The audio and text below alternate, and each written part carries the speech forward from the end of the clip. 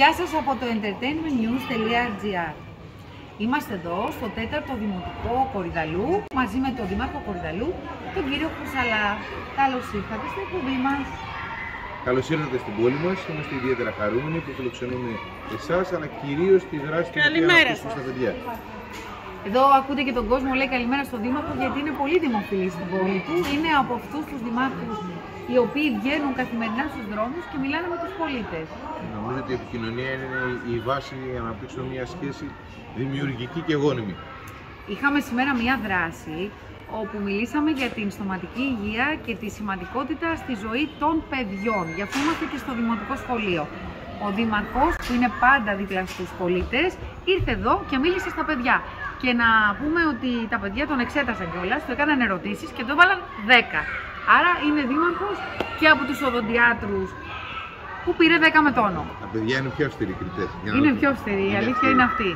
Ήταν μια διαφορετική από τις ε, συνηθισμένες παρουσιάσεις. Είχε ένα σύντομο βιντεάκι που μπόρεσε και πέρασε καλύτερα στα μηνύματα στα παιδιά. Συζητήσαμε μετά τα παιδιά, με τα παιδιά για την εμπειρία τους, για το αν έχουν επισκεφτεί τον οδοντίατρο, ποια είναι η αγωνία τους, η φοβία τους, προκειμένου από τη, τη μικρή ηλικία να βάλουμε τις βάσεις για να μπορούν τα παιδιά μας να έχουν και στοματική υγεία αλλά και γενικότερα την υγεία τους στο σύνολό της. Εμένα αυτό που μου έκανε εντύπωση, Δήμαρχε, είναι ότι εντάξει, μιλήσαμε εμείς για τη στοματική υγεία, μιλήσαμε πώς πρέπει να βουτσίζουμε τα παιδιά, αλλά οι ερωτήσεις, πέραν το πώ βουτσίζουμε τα παιδιά, που ήταν η πρώτη ερώτηση που του έκαναν, ήταν για το τσιγάρο και το αλκοόλ. Τα παιδιά έχουν ευτυχώς ευαισθητοποιηθεί και νομίζω ότι τόσο στην παιδική ηλικία που είναι τα παιδιά στο δημοτικό αλλά και στην μεγαλύτερη ηλικία ε, πια αντιμετωπίζουν καλύτερα από τη δική μας γενιά τα ζητήματα αυτά.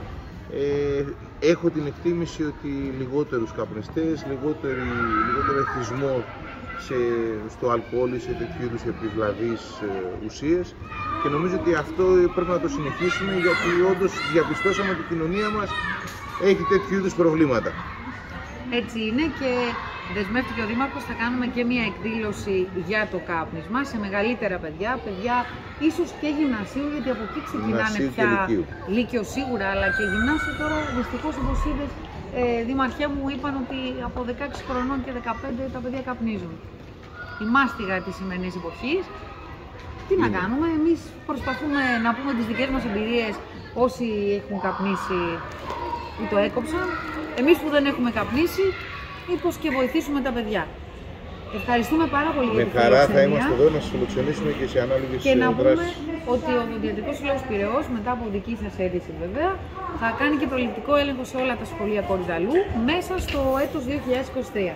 Το κοινωνικό έργο και η συνεργασία με την πόλη υπήρξε και τα προηγούμενα χρόνια και είναι ευθύνη μας να την, κάνουμε- να την αναπτύξουμε και να τη φέρουμε πιο κοντά ειδικά στις μικρές ηλικίες. Ευχαριστούμε πολύ και, Και για εγώ τη σας συνεργασία και για τη σημερινή δράση. Θα τα ξαναπούμε Καλή σύντομα. συνέχεια, θα τα πούμε.